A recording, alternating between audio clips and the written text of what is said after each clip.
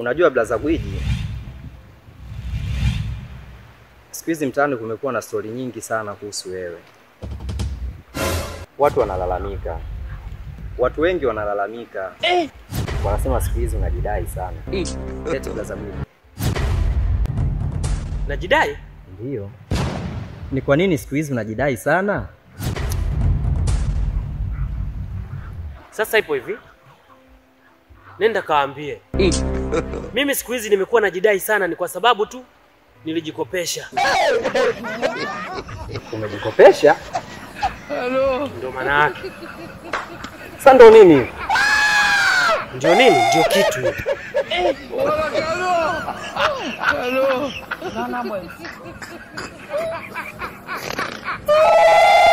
Sema score.